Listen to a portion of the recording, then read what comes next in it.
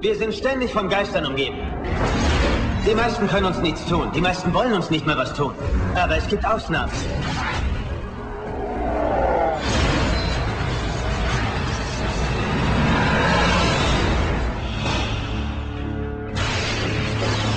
Ich verwalte den Besitz Ihres Onkels Cyrus. Wir haben einen Onkel Cyrus? Er hat diese Nachricht vor sechs Wochen aufgezeichnet und verfügt, dass man sie Ihnen im Falle seines Todes zeigt. Mein Anwalt hat den Auftrag, euch mein Vermächtnis zu übermitteln. Ein Schlüssel? Ein Schlüssel wozu? Den Schlüssel zu eurem neuen Haus.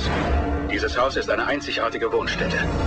Ich schlage vor, wir erledigen die letzten Formalitäten. Danach wird es mir eine Freude sein, Ihnen und der Familie das Haus zu zeigen. Die Hütte ist der Wahnsinn! Jetzt weiß ich, dass ich träume. Ihr Onkel war ein leidenschaftlicher Sammler. Verschiedenster Dinge. Verdammt, was war das? Für diese sechs Ihr vergeudet eure Zeit. Es ist alles verriegelt. ist nur eins schlimmer, als mit einem Geist in einem Haus gefangen zu sein. Dieses Haus ist kein Haus. Wir sind im Inneren einer Maschine, die von den Toten angetrieben wird. Mit 13 Geistern in einem Haus gefangen zu sein. Wir haben Gesellschaft. Oh, ich sehe nichts!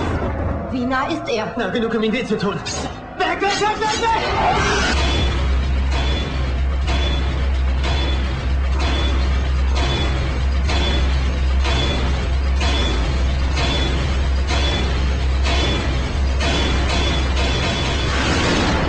Können Sie mir versprechen, dass ich das überlebe? Ich garantiere für nichts.